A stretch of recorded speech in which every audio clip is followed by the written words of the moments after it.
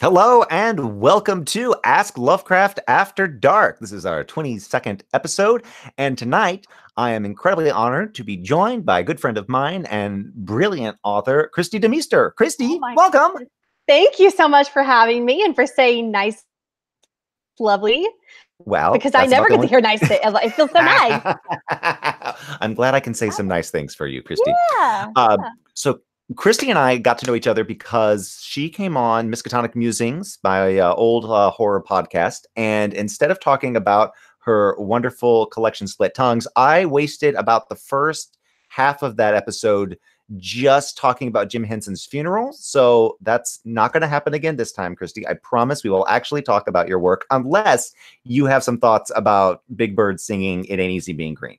I think I've exhausted all Muppet related anything because I, I honestly I think the second time that I went on, we talked about it again.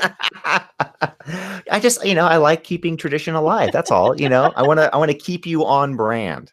Right, right. Oh, And apparently Muppets is where it's at. So but no, I, I, I have no more opinions about Oscar the Grouch or you know, I, I think I'm good. I think I'm good. that is fair. You know, I, I thought not to just make this about Muppets, but I thought I would watch a lot more like Sesame Street and Muppets and stuff with my daughter than I do. I think Muppet Christmas Carol is about the only thing that really like shows up a lot.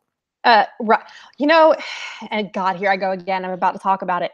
But the Muppet Christmas Carol, I had not watched it in years. I mean, since I was probably 10 or 11, and we rewatched it this year. It, it- the Ghost of Christmas Past, the one that has some The little girl. yes, with the the the face that is oddly human, but she has this odd voice, and I, it was so ter- deeply, deeply terrifying as an adult. I don't remember being that horrified as a kid. no, but no, as an adult, it No, has it's- some uncanny valley weirdness. Oh, it's not good. It's just meant to terrify.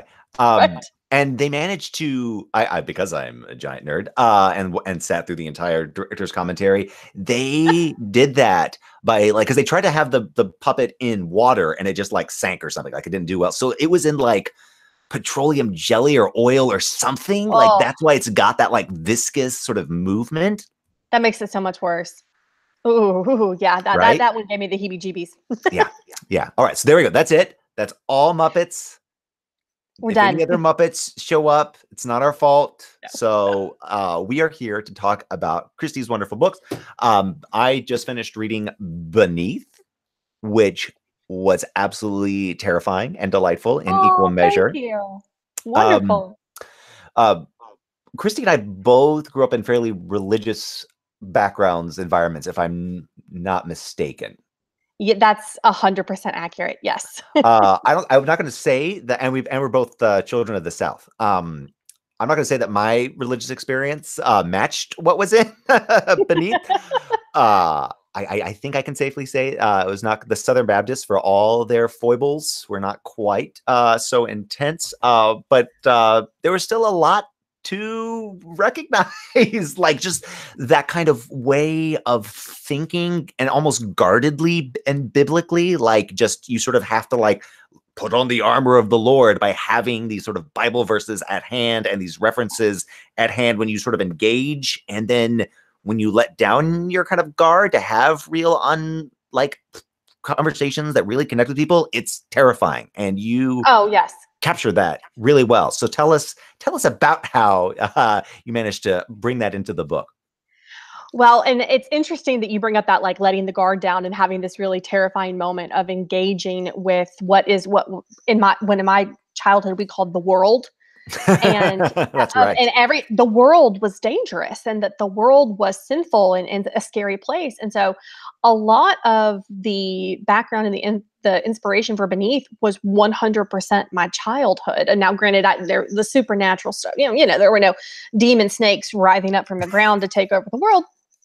But of that those those experiences in the church and the rigidity and the the guilt and the shame and the fear that was all 100% it, what i experienced and so there, th- this was probably one of the only times or one of the first times that i really let myself go back to that really dark place that i was in when i was younger of um, guilt and shame that I grew up with. And so it was 100% pulled just from from being a kid and having that as my daily experience. Well, and you you managed to capture the view from a couple different perspectives. So, you know, so for folks at home who have not read this book, you should. Uh, you've already been spoiled that there's sort of giant snake things trying to take over the world. Um, but what's really fascinating about it is the different character perspectives. We essentially have I'd three to four perspectives that we're following.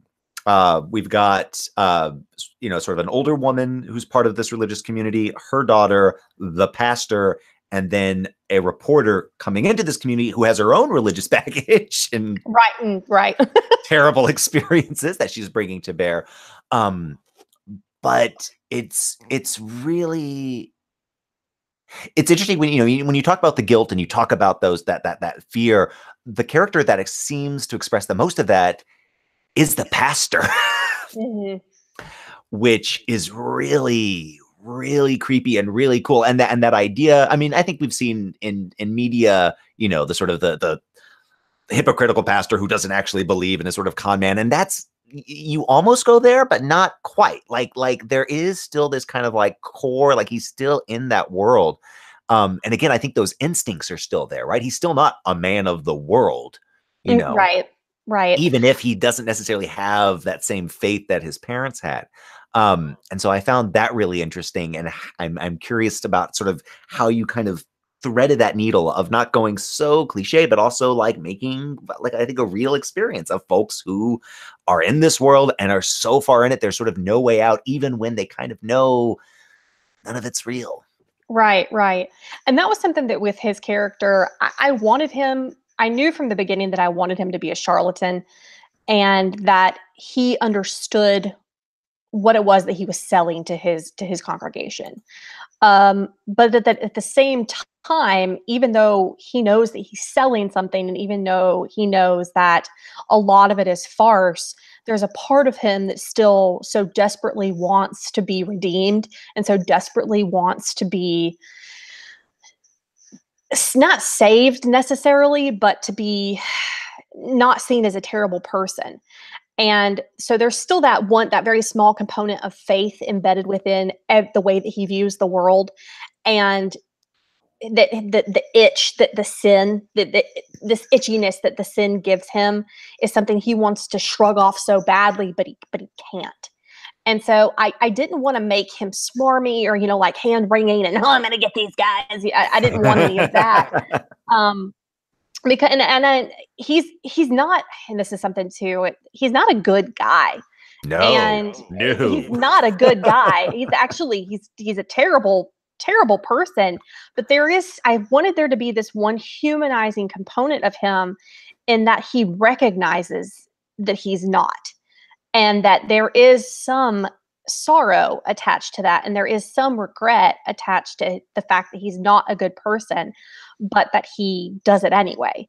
And i think that when i was starting to think about the differences between sin and redemption and salvation and just being a person of we sin all the time and, and we make mistakes all of the time but that the when you carry them with you for so long, when you carry the guilt over doing these small things for so long, how that can ultimately impact a person and how you can hide it. And so I, I, I never, I never wanted him to be mm, blatantly awful, but that he's, it's simmering. It, well, and that, it, that, that yeah, I mean, every, there's a lot of baggage in a lot of these characters. um, yeah, yeah, and no one is clear cut. No, I mean, and and you know, I think there's a lot of eh, there's a lot of questions about like sort of innocence and guilt that play out. Um, you know, sort of sins of the forebears. You know, we see that kind of crop up a lot, and this relationship between parents and children. A lot of mothers and daughters. Yeah, you know, sort yeah. of coming up. Um, I one thing I, I wanted though to sort of get at logistically. You uh, this book takes place in sort of the I think late 60s, early 70s, and then mid 80s. Is that correct? That's right. Mm-hmm why? Like, like, like, there's no like, like Reagan doesn't show up. Like, you know, the the Americans aren't, uh, you know, special guests in this. So I was trying to sort of like, as I was reading, I was wondering, is this just so she doesn't have to worry about cell phones? Because I get that, I can appreciate. right. Uh, but I was I was really interested why you said it in I think '86 is when the sort of the real action Right. takes place. And I, I wanted, so already when dealing with this particular fundamentalist religion, there is a sense of claustrophobia because there isn't going to be a lot of access to technology. Uh, because that was how I grew up. Of we weren't given any kind of access to technology. There were no televisions. Um, if we had radio, it was had to be approved. It, it could be secular music. Of um, the, our our reading was limited. And so contact with the outside world was already almost non-existent. And you lived in this really insular world. And so I knew in getting Cora to Hensley, getting her to this town, it was going to be cut off from any kind of outside civilization. And so there was a note of I wanted to take that feeling and heighten it of that true sense of 100% isolation of not just does this community not have access to these things but the likelihood of the information of what's happening in this town being disseminated is going to slow down even more. And that it cre- it just exacerbates this feeling of claustrophobia and not being able to know or understand if this is happening just here is it happening everywhere is it rippling outward like what exactly is going on to kind of close in that town and make what's happening a little more frightening Well, uh, an interesting thing that keeps happening is the characters do leave the town, but then they always get drawn back. Like there's this sort Right. of like like they get in their car and they head out and they go to the diner and then they're like, "Mm, nope, going, we're gonna nope on back, and then like, oh, we're gonna go to the gas station and and and then and so there's that that weird not just claustrophobia but almost like a sense of just inevitability like you just you Right. cannot escape even though they're Right. they've got they've got their hands on the wheel like they literally can go um and you're not you know bending space time and like you know they go down the highway and oh we're back where we We're right back where we started. right. And that was something that um, I knew would probably irritate certain readers of that there was this feeling of stop, start, stop, start of, well, why can't they just get out of the freaking town of eh, eh, like, like go leave of that doesn't make any sense. But I, I did want this sense of this of a drawback of that they can't of there is some kind of compelling thing that's pulling them back and ultimately isn't that kind of oh god i'm going to get real english teachery. I am so sorry. No please Um, do. of and isn't that how sin works? You try to leave it and you can't and um, all of these things that we try to ignore um, and say no this this is I, i'm gonna i'm gonna bury all of these terrible things the terrible parts of myself the things i want to forget the the parts of my life that i wish had never happened you bury but it, but it always is to come back up. And so there was a part of me i wanted them to ne- to not be able to leave for some reason. And you know people read it and they go um, oh why can't again get out of the shit. Just get out of the town. And- just go already. Right right. And um why keep coming back? But that there that felt right to me of that it's one of those things you can't they can't they can't physically do it because everything comes back. There's my, my other yep. I was gonna say there's my lit teacher explanation. There we go. I'll take it. Well, my my other thought for why you said in the 80s was so there would still be print journalism to, you know, create a reason for absolutely. And, she needed and she needed a reason to physically go there um, not just skype in not just watch videos on youtube um, because there is this very there's a stark difference of physically being in that in a in a handling service like that versus watching it. Um because you know I've, I I- I'd gone I went to them. I went to snake handling services when I was a kid and it's not the same as watching it uh, it's a different feeling of you can it, it is a distinct energy in the crowd that cannot be replicated. Um, and so she needed to be there. Talk talk a bit more about that that energy. You know i you know i grew up southern baptist and you know definitely can remember the sort of the, the excitement and energy of going to like youth conferences and like Oh, you know like you know lord i lift your name on high you know like everyone's singing just- jars of clay. That's right. Uh you know uh just you know you are the devil and the devil is bad. You know like that just has that kind of you know just youth just a bunch of really worked up teens that aren't uh, allowed to sin with each other. So there's just that kind of like really focused kind of tension that's going on. Um but you know, I've seen Jesus Camp and I've seen, I've, I've heard from, you know, like Pentecostal friends, you know, folks who, you know, go to places where there is glossolalia and there Yeah. is, you know, like we're going to have some fruits of the spirits here tonight, you know, Right. like for all that the Southern Baptists were very sort of jazzed up in certain ways, they're still very sort of staid and buttoned up and, you know, like, Mhm.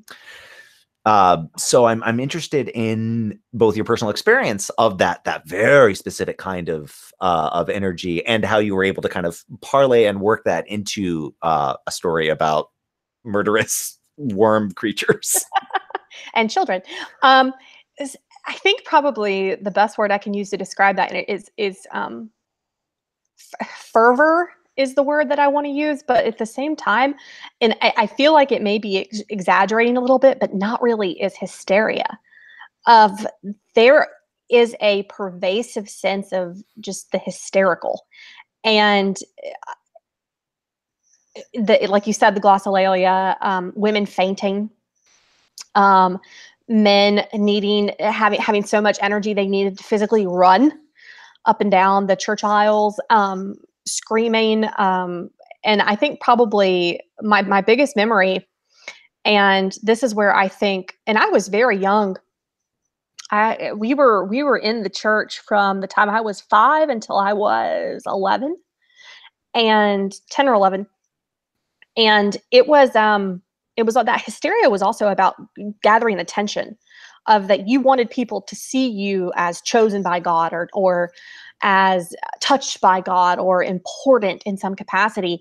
And so when the glossolalia would happen, there would always be someone who was anointed by God to do an interpretation of that message because it was you know vo- the voice of god is speaking directly through you and then also then there's someone there who will do this interpretation and i i vividly remember doing an interpret i was probably six six or seven vividly remember doing an interpretation i had no idea what i was talking about but i wanted the attention so badly that i just said stuff and then just basked in all of the godly attention of this child oh is well, this child from the tongue- from the tongue of babes, right? I mean, like, yeah, that that pressure. I mean, I and I, I can think, you know, the closest thing I can remember for being a kid in in the mission field is that, like, you know, those kind of group prayers where kind of there's sort of Mhm. everyone is kind of around each other and you sort of feel this pressure like i need to pray something but like i don't know if i want to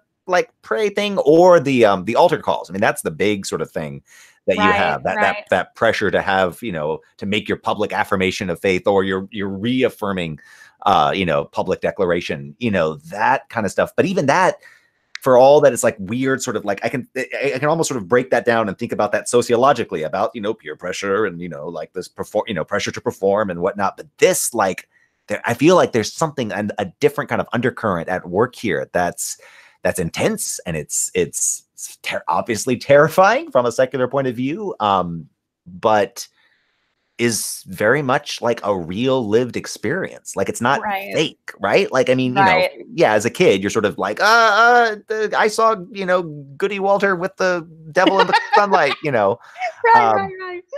but but i mean it's the, those feelings are real and like and they can right and then they can manifest as as real visions or real or real true experiences of and again i think yeah I, I'm, just going to stick with it. I think hysteria is the best word because when we would go to some of these tent revivals and that was something that even within beneath even though we never well we do see a service and um and that's that first one where uh, she's bitten by the snake and but that sense of every and not just the pressure but the the absolute belief can create um, a truly manifested vision of um throwing I we would go to revival services and we watched demons get thrown out of people. And I had myself convinced for years that I'd seen it happen of because you tell yourself that evil is real and that it physically walks in the world and so I should be able to see it. And that belief becomes so deeply entrenched that you start to see it. And i've i've had theories before too of you know when i think about um the prevalence of uh, possession stories within the Catholic Church. Of you know, why is every possession movie about you know the Catholic Church? Of like, why isn't it any other religion? Like, why can't we get a, nice Episcopalian possession? Or you know, well, no. Here's why you can't do Episcopalian possession, and this is a joke that my wife appreciates is because you know instead of like the power of Christ compels you, it would be uh, the power of Christ invites you to our adult continuing education program. Uh, you know, uh, the power like of Christ. Spanish? Uh, the power of Christ offers you some fine cherry. Yes, would you like to? Perhaps you would like to come. You know, oh like like you know, Angl- Anglican exorcists are just like now, Mister Vampire. You know what you're doing is very unpleasant, and I don't think we should be carrying on with that now, should we? Mm, don't you? Um, now, if you'd like to join our, our regular vestry meeting, and then Vampire leaves because they're getting inundated with emails about you know 15 different committees. Like that's that's how we keep things demon free uh, in Oh the Episcopal gosh. world. Oh, Well, that's uh, hysterical. well, I'll tell you. I mean, I think the I think there are two really great demon possession movies. I think Fallen is fantastic, um, Mm. uh, but Frailty. I feel Yes. like Frailty captures that small town, like homegrown pastor feel right. of of like they're they're demons and we got to deal with them, boys. And if you got Right. if those of you in the chat have not seen Frailty, get on that. It is fantastic. It that movie blew my mind and i didn't see it until i was older. But and people told me again you have to watch frailty. Um, people who knew my background of like you have to watch it. And it hit so many of the right notes because that that was the thing as i was as i was even as i was writing to beneath if i'm going I, I need to have these people believe this so much that it becomes a physical possibility that you see these things and these things can happen. And and, and it just so happens in this book that it does but you believe it so much and it physically manifests Now it's I mean it's interesting, right? You know, we grew up in in traditions that where demons were really sort of spoken of in in real ways. Um when it came time to actually sort of populate your book with monsters, like were you sort of going back to those wells or, you know, like what the creatures in this are are interesting because they're so vague for so long. And then towards the end we begin to see I think a bit more like, oh, okay, so this is where they're coming from. Like you start doing some name dropping, which I won't get to. Uh, um, but but yeah, I'm interested in sort of the source for that and kind of where your head was at as you were kind of planning this out and thinking about what's what is literally beneath. right uh, snakes is where i started I mean, fair fair enough. They do feature very Right. very heavily um sna- any and i have been terrified for snakes my entire life for a multitude of reasons um but largely because of the associations with uh, the garden of eden and that the snake was the ultimate symbolic representation of evil and of the devil. And so when i started to think about uh, not just this this community within Appalachia that was snake handling, but what the snake ultimately represented to me as I was growing up. It started there, and then that was just a hop, skip, and a jump away to, tu- tuber worms. I don't know, Whatever they are. whatever they are, uh, but these worm-like entities that that exist. And so I, feel like I'm spoiling. They're creatures. It's mentioned on the back of the book. I'm not spoiling anything. It's called beneath. You know, Right, like right. it's not Care Bears, folks. right no. And so but i also with the with that title and with the fact that the the creatures live under the ground or were under the ground and again so much of that is drawn from the symbolism of my past of that evil evil was beneath us of that uh, you that hell was a place and it was under our feet. You you could it is there. What was it? Oh shoot what movie easy a. When uh, fred armisen oh no it's real it's there it's under our feet If-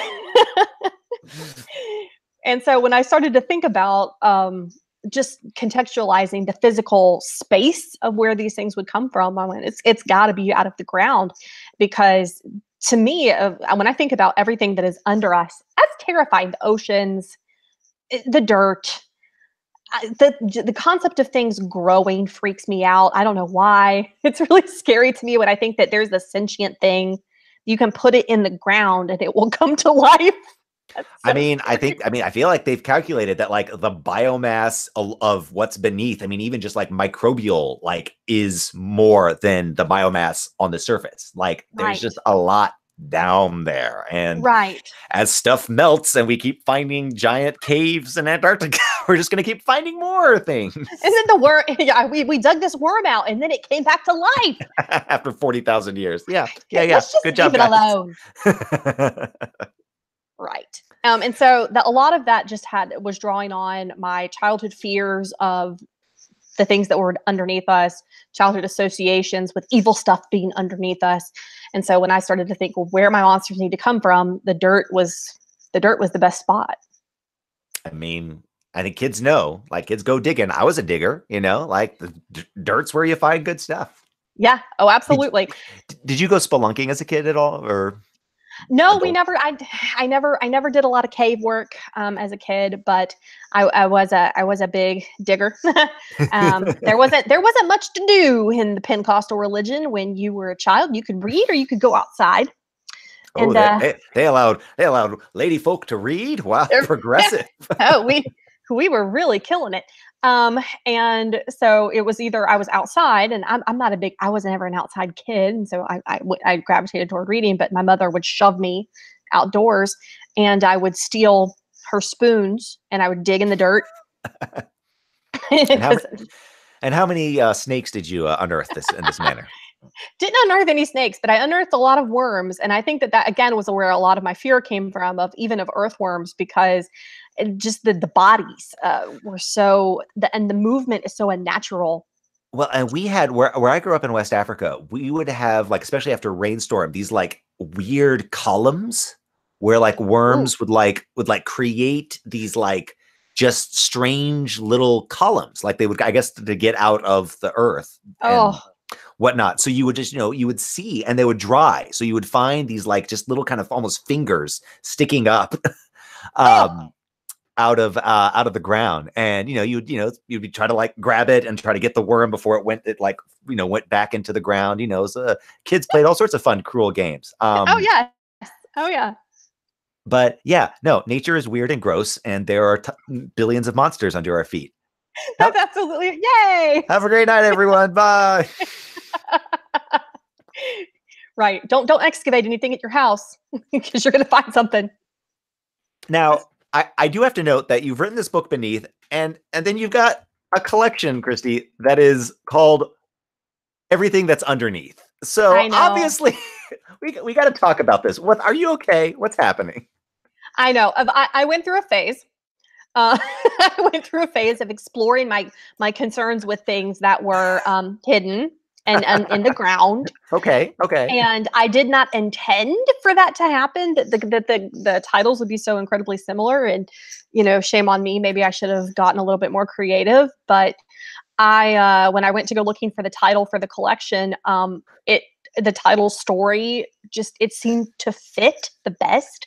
And I, I, oh God, I wrote lists and lists and lists of I, I was looking up all kinds of things of and, and just nothing felt right and i was like okay i guess this works and then i went oh god it's just like the book title oh.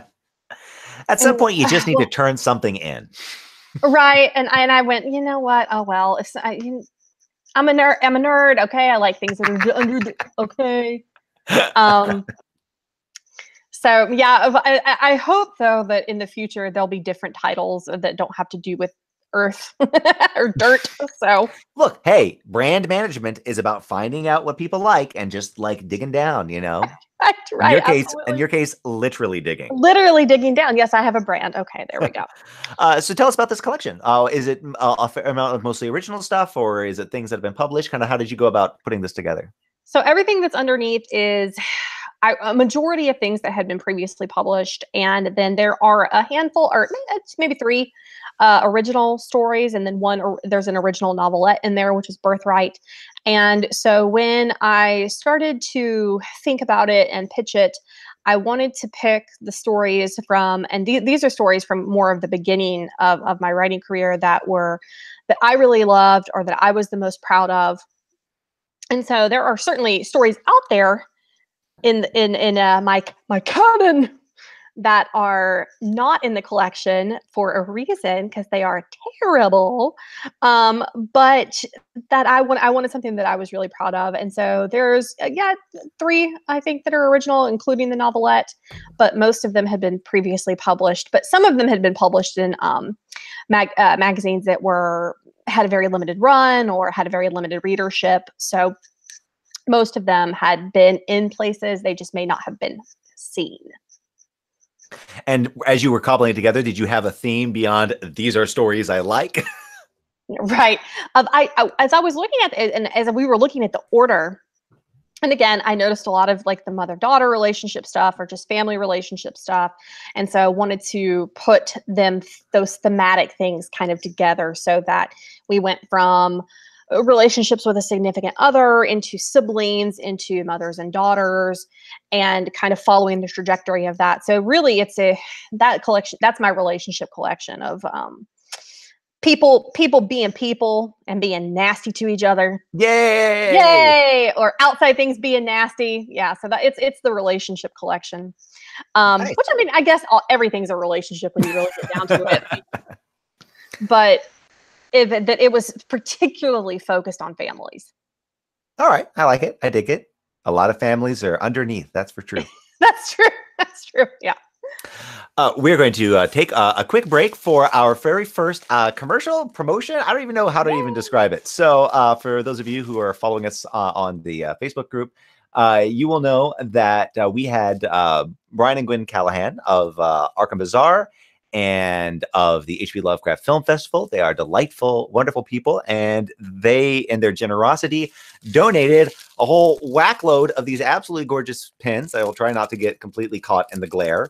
Um, they're from their uh, Kickstarter Cthulhu Mythos pin collection and one special yellow sign pin. These things are hefty, they are gorgeous, and with a little bit of luck, they're going to be yours. So, the way this is going to work. Sorry, Kristi, uh, you are unfortunately unable to to play this time around. But next episode, maybe maybe you can try your hand.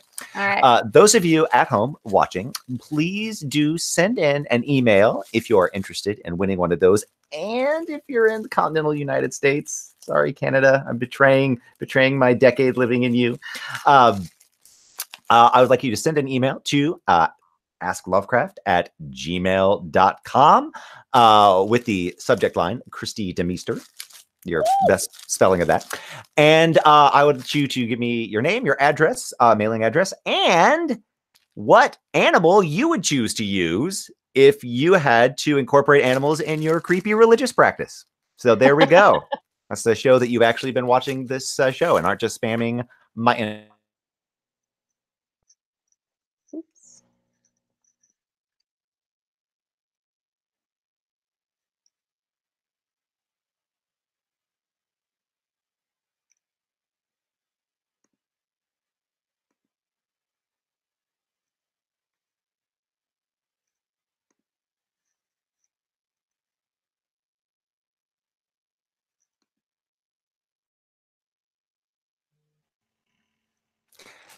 It was so spooky, these pins, that they broke my internet, guys.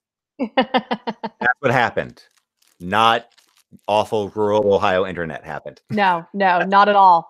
Uh, so if you that, once again, that's uh, send in an email to asklovecraft at gmail.com, subject line Kristi DeMeester, and tell me your name, your mailing address, and what animal life you would incorporate in your various religious practice. You don't need to tell me how. I don't want you guys to be weird and gross. I don't want to like have to be thinking about stuff like that when I'm, you know, sending you nice things. Just, you know. That's all. Don't make it weird, guys. Don't please, please. I have children. Don't make it weird. Right. Uh, back to the show. Uh, so, Kristi, uh, beyond this, you've uh, worked, I know, with uh, you had some publications through Dim Shores. Uh, you had a limited run with Split Tongues. yes. What else have you put out there in the world? And is a lot of that now into everything that's underneath, or have you kept sort of a widespread? Uh, been a little bit of a widespread. So since everything that's underneath has come out, I've had um, well, I'll talk a little bit about the uh, chapbook that I did with uh, Tall Hat Press and um, Yves. If I say his, I'm going to say his last name wrong, and I hate Tori nope. It's not right. I have no idea. Yves Tourigny, a T O U R I G N E Y. He's a wonderful illustrator, and um, did a limited chapbook with him called Unmemory. It's a uh, it was Christmas themed. It was about a bad, bad Santa. So I was Ooh. really excited, and it's illustrated. It's really, really cool. So um, if you go to the Tall Hat Press website, there should still be some copies left. That was really, really a lot of fun. Um, and then last year, had some stories in a handful of anthologies um, Lost Highways from Crystal Lake Publishing, um, Lost Films. had a story in there, had a story just come out in January in Black Static. Um, there was, I had a story in Pseudopod last year. Uh, so there, has been a sprinkling of things here and there, and um, and wait, waiting to hear on a couple of things so far for 2019 but the short story front has been was really rich over the past couple of years. So I feel very lucky to have been able to been, be in some really awesome places. Oh, I got a story in Fairy Tale Review last year, which was really Ooh. fun.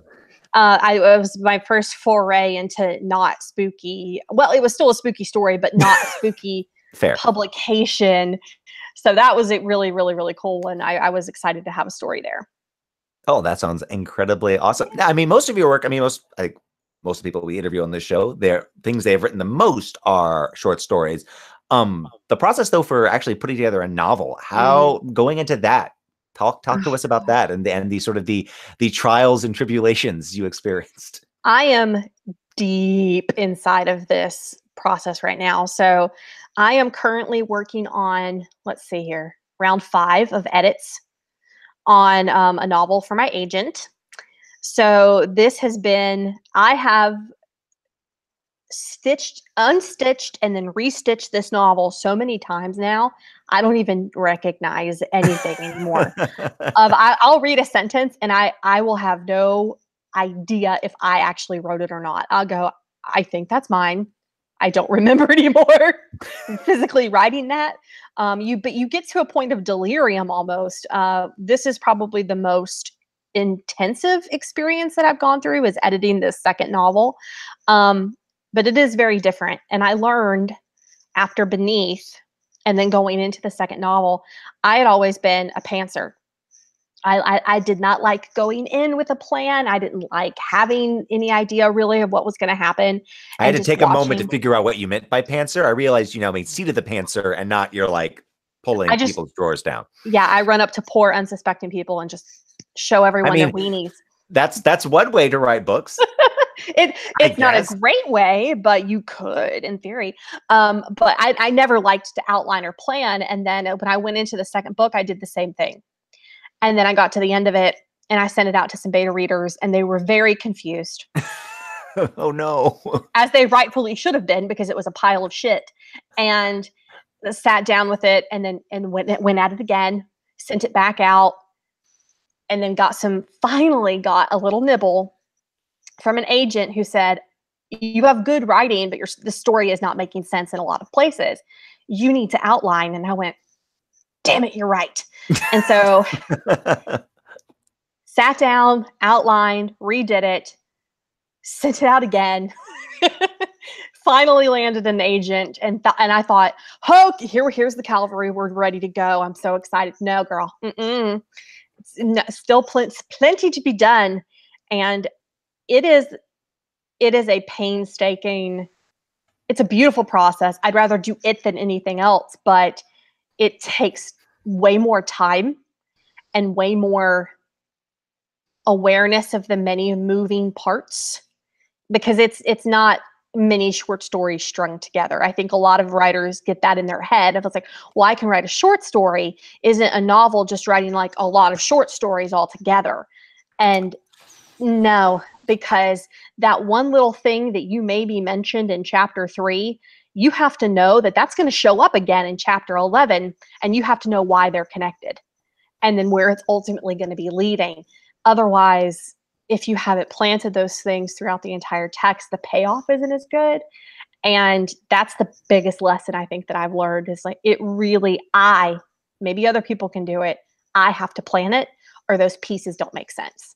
And I, ooh, it grates on me, but I know I have to do it. Yeah. And I guess uh, were you able to take any of your lessons from beneath into this, or has it been essentially starting over from scratch? Of I think the biggest lesson that I learned from beneath was the need to sit down and do it. it. Just shut up, get out of my own way, sit down and do it, and know that I can go back and fix it later. Um, I have I have that awful thing called perfectionism. Oh no, no, that's right. the worst thing. Right. that awful thing called perfectionism where everything I felt like everything had to be just right. And there there are things in beneath I would fix I would change now. Of I, I look back at it and I cringe in a lot of places and go, oh no, why would you do that? And but to be okay and let let it go all will be fine you can fix it later. That's the big lesson i took away from beneath. And also the big lesson that i took away from beneath was people do not like ambiguous endings. Uh, okay. No comment. people, some people really do not like ambiguous endings a lot of people say that about the short stories too though. But that was the other big lesson from beneath. Um, but mostly just sit, get out of your own way and shut up and do it there we go. Uh, we've got one question uh, based on a, a, Kickstarter you contributed to. Uh, folks are, are curious to know when uh, Welcome to Miskatonic University is coming out. That's okay. I have no I idea. Am, so I am uh, so excited about that. I am so excited about this story. I wish I had an exact date for that. I have been told that it is forthcoming at some point this year before summer. Um, I know that um, there's been some issues of with, uh, and not any fault of the publisher, but um, you may have heard some rumblings about the nocturnal readers box.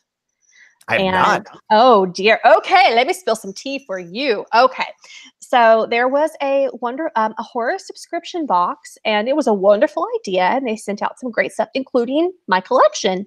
Um, unfortunately, they neglected to pay a number of the publishers for their books. And yes, and unfortunately, um, Broken Eye Books was one of those publishers. And so uh, Scott is unfortunately re- trying to recoup a lot of that loss. And um, that has unfortunately pushed back a lot of his publication schedule. And so I know that Welcome to Miskatonic University is forthcoming. I just, I, and it's supposed to be this year. I just unfortunately don't have any more knowledge about that. But I'm really excited for that story because um, that is my Cthulhu Cthulhu um, in a sorority story. What? Hold on. You're gonna have to go back. So first off, this is my first time hearing about uh, Welcome to Miskatonic University. So I'm gonna need to hear a little bit about yes. this, and then we definitely gonna need to talk about uh, pledging Cthulhu.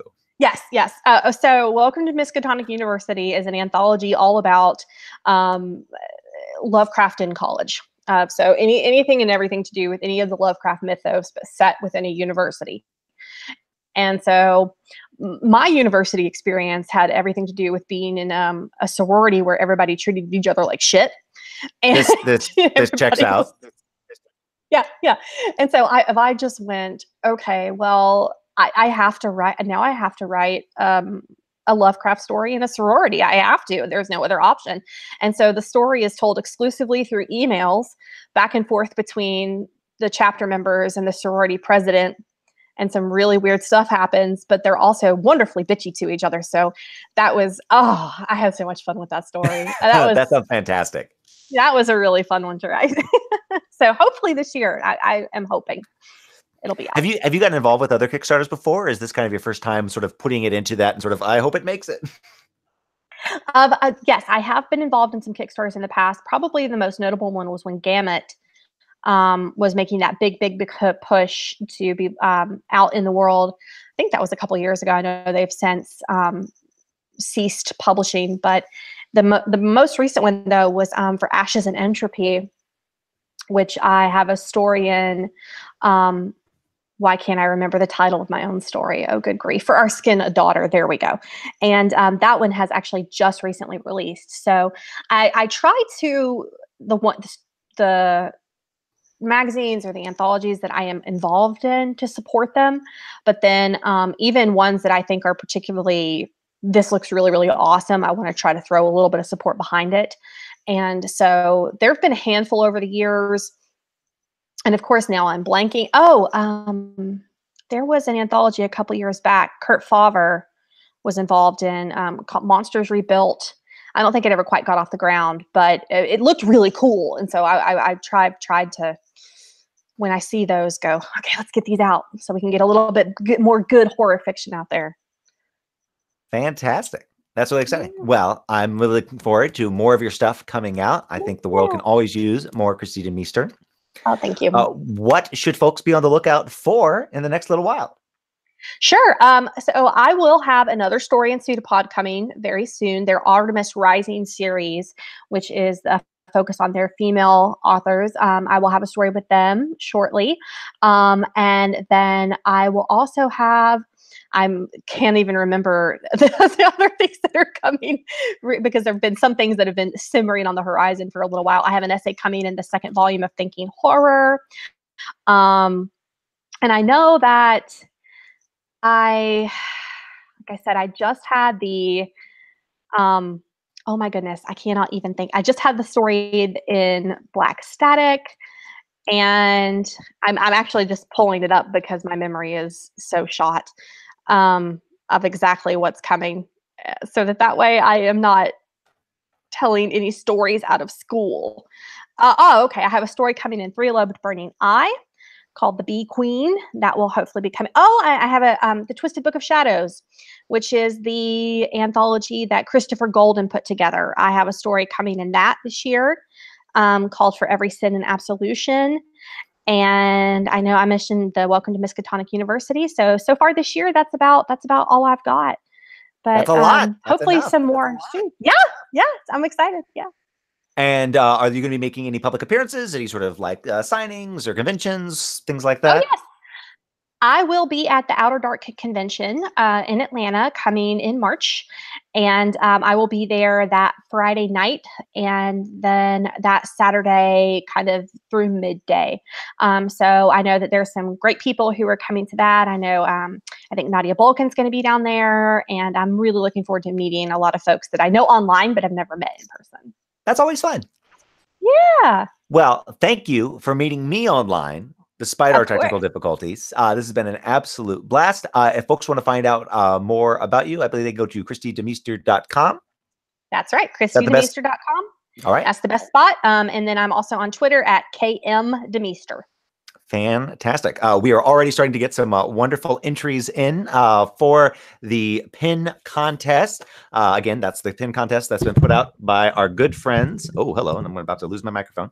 Our good friends at Arkham Bazaar and the HP Lovecraft Film Festival. Uh, folks have until, I'm going to say, I'm going to say until the end of Friday to get in their email. So we'll keep it for those of us in uh, the Appreciation Society. You have a chance to uh, uh get those emails in. I will choose randomly. It will be a fair, random way. PH won't in any way influence uh, my opinion on the matter.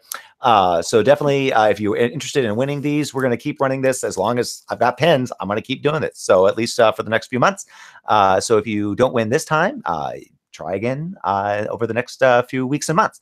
Thank you all for watching. Thank you all for listening. Uh, I, of course, have been Leeman Kessler. Uh, if uh, you don't know what Ask Lovecraft is, uh, Ask Lovecraft is my tri weekly program where I dress up as H.P. Lovecraft and answer questions for the internet because I thought that would be a good way to spend my time. and it has been. Uh, this is the Ask Lovecraft Appreciation Society uh, special show, uh, the Ask Lovecraft After Dark. If you want to be a part of the Appreciation Society, be able to uh, comment uh, live, uh, get first crack at some of our fun contests, then just go to Facebook and join Ask Lovecraft Appreciation Society. It's a lot of fun. It's all very attractive, discerning people. You will have a good time. Uh, otherwise, you can find out about live shows. I've got some stuff coming up. I'm going to be in Canton, Ohio at the Oddmall Expedition Elsewhere, uh, Sunday, February 17th. Uh, I'm going to be up at uh, Cleveland Concoction, just outside of Cleveland, uh, at um, beginning of March, like March 1st to the 3rd. Uh, and if you happen to be in uh, rural Knox County, Ohio, uh, February 28th 8th, I believe, uh, you can see me uh, impersonating Peter Sellers for a local Chautauqua reading series. Uh, I believe those are all my current live shows that yeah, folks can come out to see. Thank you so much for watching. Thank you so much for supporting the show, for watching us Lovecraft, for watching us Lovecraft After Dark, for supporting us on Patreon. Uh, if you want to find out more about me, about my live shows, you can go to leemankessler.com. You can also just follow me screaming into the void over on Twitter at Leeman Kessler. Once again, thank you so much, Kristi, for being on the show. And thank you for everyone for watching. Have an absolutely wonderful week, and we'll see you all next time. Bye.